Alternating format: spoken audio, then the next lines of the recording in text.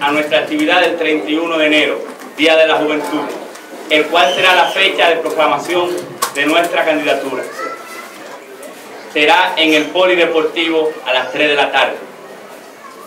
Espero contar con la presencia de todos ustedes y a cada persona, a cada amigo, a cada vecino, que ustedes desde ahora, como se juramentaron, cuando ustedes lo vean por las calles, ustedes se le acerquen, le hable de mi persona, le hable de mi propuesta.